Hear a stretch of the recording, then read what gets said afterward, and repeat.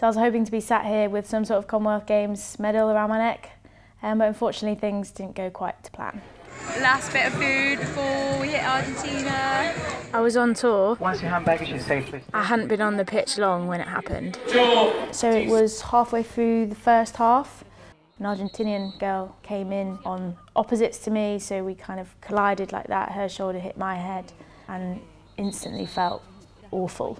Three months on, post collision, um, concussion's still not gone, which is pretty annoying. Um, I've learned a lot about concussion and its symptoms over the last three months. Um, things like light, sound, I get really sensitive to that and it, it just goes straight through me and can't can't cope with it.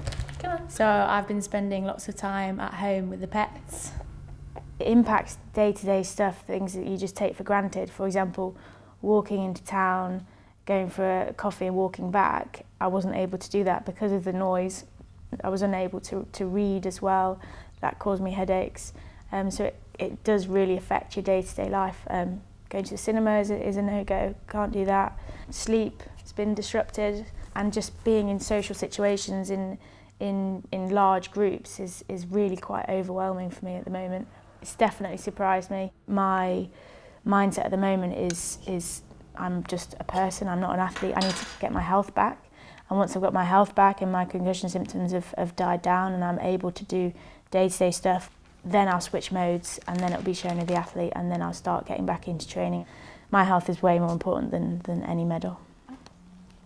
I hope I've helped you learn a little bit more about concussion. This is Shona McCallin for East Midlands Today.